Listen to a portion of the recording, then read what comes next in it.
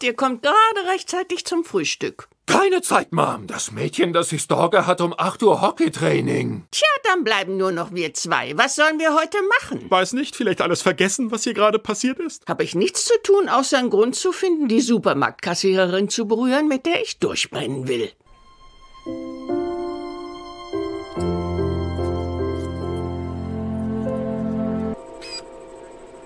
Esperanza, ich glaube, du solltest weiterarbeiten.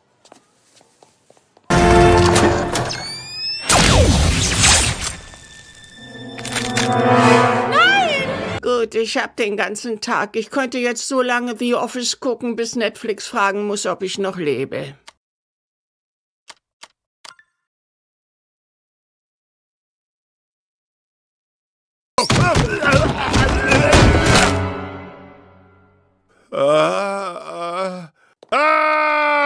Warte, sie antwortet. Ich sehe die kleinen Punkte in der Blase. Oh, warte, sie hat aufgehört. Oh, jetzt tippt sie wieder. Der Rolli sieht was, was du nicht siehst. Und das ist was, das du auf den Sperrmüll ziehst. Jemand eine Matratze weg? Äh, welche Größe? Keine Ahnung. Die Größe muss in einen Van reinpassen. Jedenfalls, der Arm sieht gebrochen aus. Wir müssen ihm Schmerzmittel geben. Leute, auf der anderen Straßenseite geht was ab. Ist dieser Angeber-Jogger endlich überfahren worden? Wow, Cleveland, du scheinst das beliebteste Haus im Viertel zu haben. Du hast das Ding gut hingekriegt. Ich spiele gegen den Sieger. Äh, stell dich mal lieber an, Kumpel. Oh, armer Brian. Wirken deine Schmerzmittel wenigstens? Oh ja. Vielleicht nur die Hälfte von einer halben. Für immer? Nur bis ich ein Konzert in einem schäbigen Indianer-Casino geben muss, bei dem man innen rauchen darf. 1000 Dollar pro Show, geteilt durch sechs.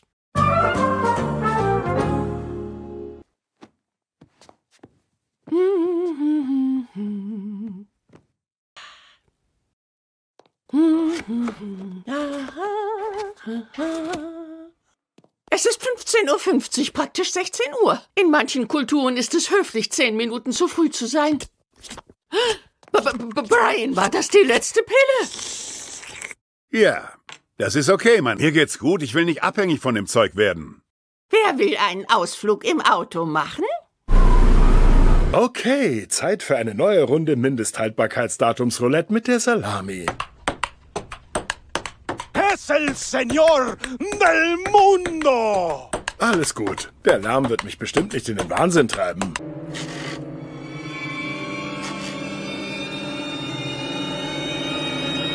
Ist das nicht. Das ist nur ein grober Entwurf.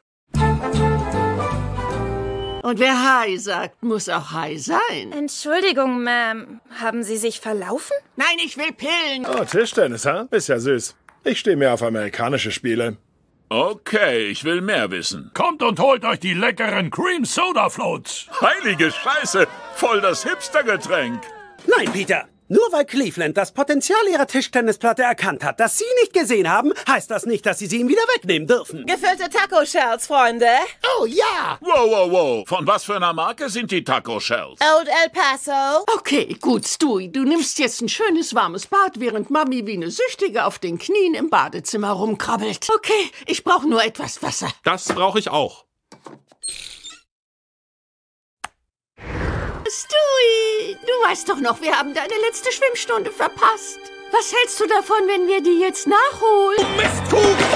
Komm schon, du hast sie gerade schon berührt. Was ist hier? Oh mein Gott, Lois, was machst du? Lois, du brauchst Hilfe. Es bleibt uns nur noch eines zu tun. Ich habe noch eine Pille übrig. Sie ist in meiner Hundebox und du kannst sie haben. Brian, sperr diesen Käfig auf. Tut mir leid, das kann ich nicht, Lois. Du bist süchtig und ich bin schuld, dass die Pillen ins Haus gekommen sind. Stewie.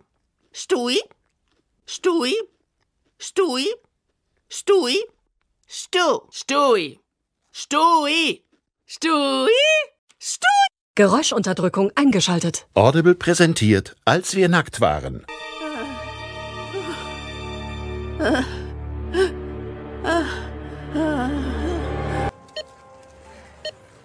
Alle diese Gutscheine sind abgelaufen.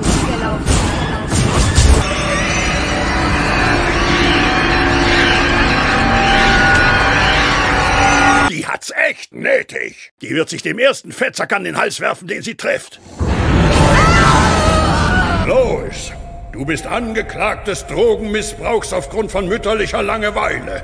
Jorel, du, du, du musst deine Stummschaltung aufheben. Oh, sorry. Hört ihr mich jetzt?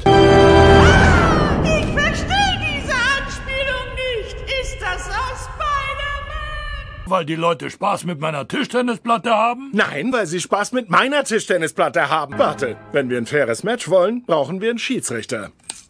Ich warte schon ewig.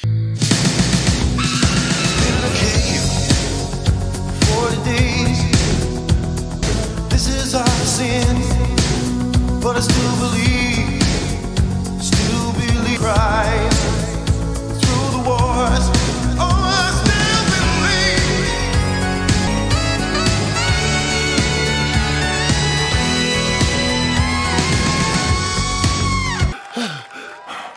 Schön, Peter.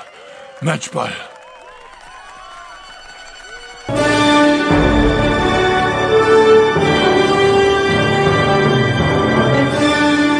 Ehrlich gesagt war Tischtennis nach dem ersten Tag das Beste, was mir jemals passiert war.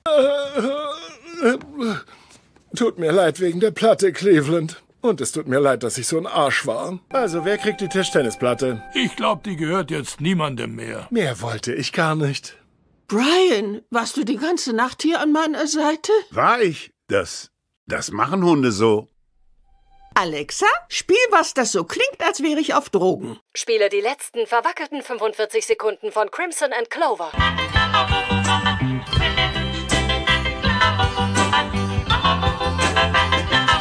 Willkommen zur Party von Bonnys 29. ich, kann, ich kann die Nummer nicht länger durchziehen. Sie ist 46. Da waren wir in den Flitterwochen.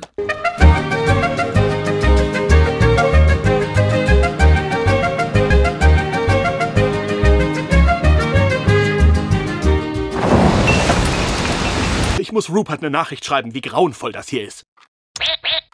Hey, ich will richtige Sachen. Du weißt doch, Joe, wenn wir allein sind, kannst du mich Bonnet nennen. Nein, ich bin's, Brian. Ist das dein echter Name? Kaum, mir kannst du's sagen. Ich bin der Nachbarhund. Ich weiß nicht. Ich weiß, wie du dich fühlst. Ich bin froh, dass Peter mich gefunden und aufgenommen hat, aber manchmal frage ich mich, ob ich allein nicht glücklicher wäre. Warum kratzt du mich hinter dem Ohr? Ich, ich weiß nicht. Ich dachte, vielleicht geht es dir dann besser. Es. Hm. Es, es tut mir leid, ich, ich wollte nicht. Nein, ist schon okay. Ähm, Ich habe gerade die Frau meines Freundes geküsst. Ich bin ein größeres Schwein als Spock. Sind das die normalen Kinder oder sind das die, äh, äh, Doofies? Es ist eine gesunde Mischung. Guten Morgen, Kinder. Hübscheren Kinder kriegen die besseren Jobs. Zum Beispiel wird die blonde Maus aus der dritten Reihe heute Nachmittag mein Auto waschen. Warum bist du so spät noch wach? Ach, ich kann nicht einschlafen. Ich muss dir etwas sagen. Gestern Abend habe ich Bonnie geküsst. Ja, keine Sorge, ich bin super im Geheimnisse bewahren. Außer das eine Mal, als du meine Schande aufgedeckt hast. Ich bin Mac, die Schulvolontärin. Oh, du musst meine neue Schulvolontärin sein. Sie sagt, sie ist ein Mädchen, aber ich schwöre dir, ihr Körper riecht nach Junge.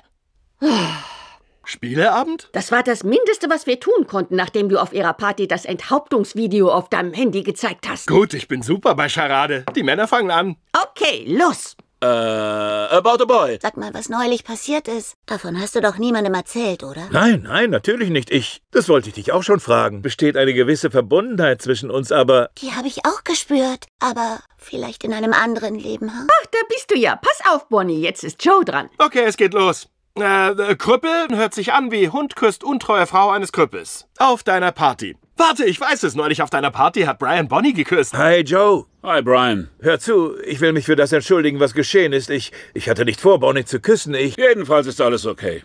Ha, wirklich? Oh Gott sei Dank, ich hatte Angst, dass du sauer bist. Hey, Joe, ist das der Kerl? Lies deinen Text, du sollst nicht sagen, dass du mich kennst. Ich hoffe, dein Tag geht nicht so schlimm weiter, aber... Äh Also für mich bist du jemand, der nie im Leben heiraten wird. So viel steht fest. Jetzt hol mir meine Jucksalbe.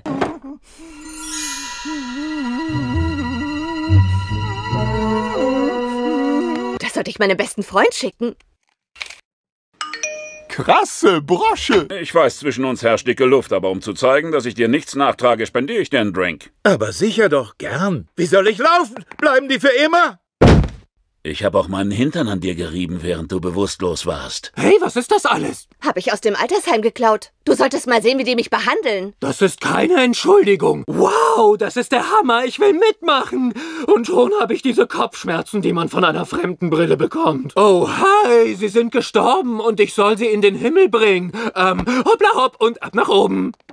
Joe hat mir das Leben zur Hölle gemacht. Wir helfen gern. Wenn Joe kommt, sagen wir ihm, er soll Brian nicht so unter Druck setzen. Wir wissen alle, was passiert ist und wir sind für dich da. Aber wir finden trotzdem, dass du es mit deiner Rache an Brian etwas übertreibst. Das ist nicht von der Hand zu weisen. Du hast recht, es ist Brians Schuld. Wir wissen, es ist ihm egal, wo er sein Ding reinsteckt. Oh, Brian ist eine Drecksau, das wissen wir alle. Aber wir lassen außer Acht, dass Bonnie eine schräge Schlampe ist, die einen immer spüren lässt, dass was gehen könnte. Wir sind uns einig, Bonnie und Brian haben einen miesen Charakter. Quagmire, du denkst jetzt an eine Karte, sagst mir aber nicht, welche es ist. Okay, das reicht. Niemand hier nimmt sich die Zeit, mich zu fragen, wie es mir geht. Brian ist der Einzige. Wow, wir haben uns heute zweimal sehr erfolglos eingemischt.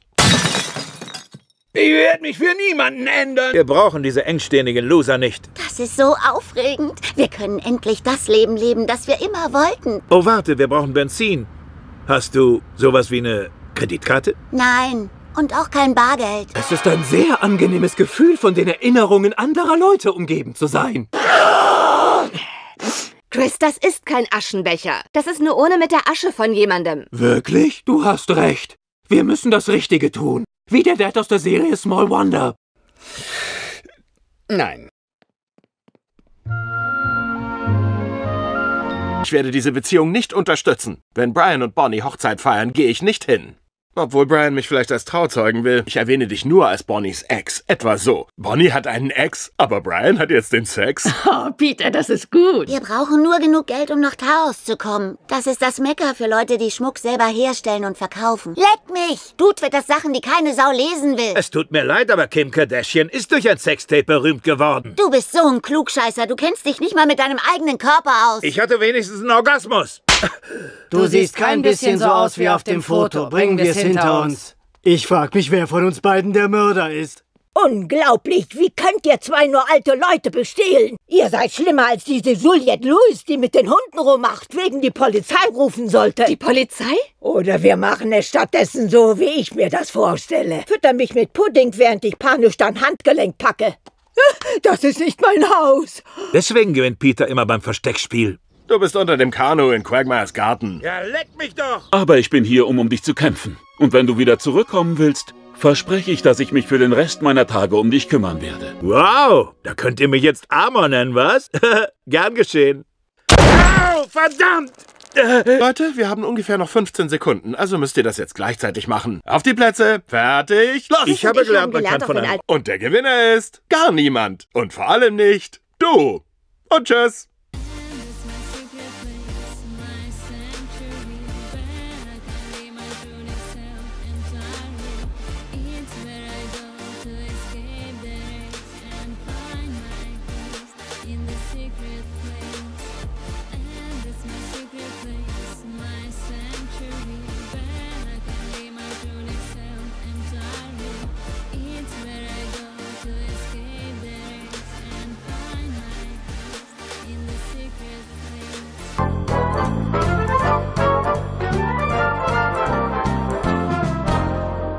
Jahre 1885. Es ist eine Geschichte über Cowboys, Viehzucht und Konflikte. Würdet ihr euch bitte hinsetzen? Ich bin Peter Griffin, bei mir sind meine Frau Lois, unser Hund Brian und unsere Kinder Meg, Stewie. Das wissen viele nicht, aber dieses Haus steht eigentlich in Burbank. Und denen wird immer der Briefkasten geklaut. Und sie hat tonnenweise Müsli-Riegel vom Catering geklaut. Eine ganze Reisetasche voll. Ich werde zu jedem Namen, der erscheint, etwas Persönliches verraten. Mom, bindest du Raucht auf dem Nichtraucherbalkon?